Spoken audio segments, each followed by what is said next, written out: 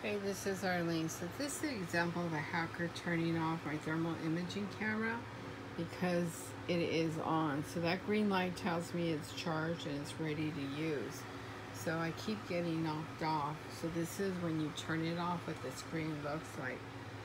So that tells me that there is a hacker knocking it off because I was doing a video because my kitten's blanket right here this is her little mattress she lays on. It has chemicals on it that I, with my rubbing onto my hands with the frequencies, it affects my hands. And for some reason, I put it down for her and she refuses to get on it. So she senses something. So it was fine last night. So somebody must have gone in when I went to go get donuts. It's October 19, 2019.